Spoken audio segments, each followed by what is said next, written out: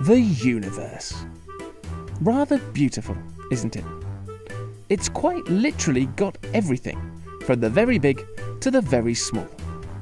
Sure, there are some less than savoury elements in there, but on the whole, scholars agree that its existence is probably a good thing. Such a good thing that an entire field of scientific endeavour is devoted to its study. This is known as cosmology. Cosmologists look at what's out there in space and piece together the tale of how our universe evolved, what it's doing now, what it's going to be doing, and how it all began in the first place. It was Edwin Hubble who first noticed that our universe is expanding by noting that galaxies seem to be flying further and further apart. This implied that everything should have started with the monumental explosion of an infinitely hot, infinitely small point.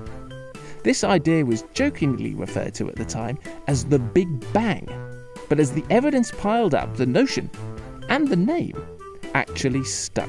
We know that after the Big Bang, the universe cooled down to form the stars and galaxies that we see today. Cosmologists have plenty of ideas about how this happened. But we can also probe the origins of the universe by recreating the hot, dense conditions that existed at the beginning of time in the laboratory. This is done by particle physicists. Over the past century, particle physicists have been studying matter and forces at higher and higher energies. Firstly with cosmic rays, and then with particle accelerators, machines that smash together subatomic particles at great energies. The greater the energy of the accelerator, the further back in time they can effectively peek.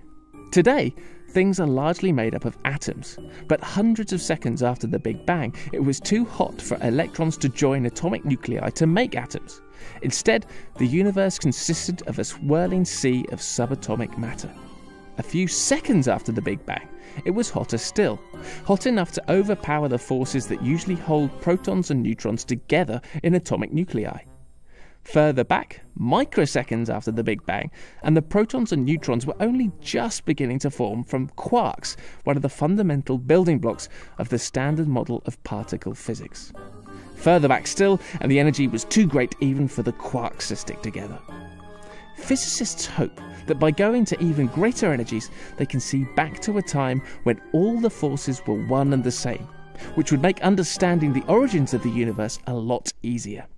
To do that, they'll not only need to build bigger colliders, but also work hard to combine our knowledge of the very, very big with the very, very small, and share these fascinating insights with each other and with, well, you. And that's how it should be, because, after all, when it comes to our universe, we're all in this one together.